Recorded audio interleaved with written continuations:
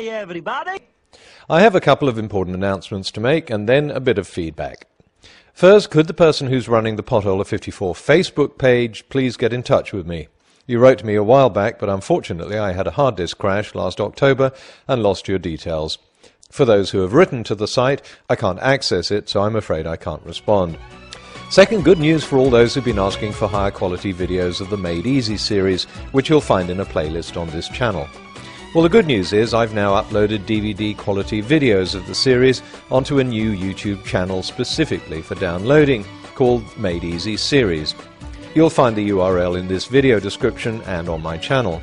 This is the revised version of the series without the religious content and with mistakes corrected, so I'm pleased to say it's already being used in a number of schools and universities. That's all.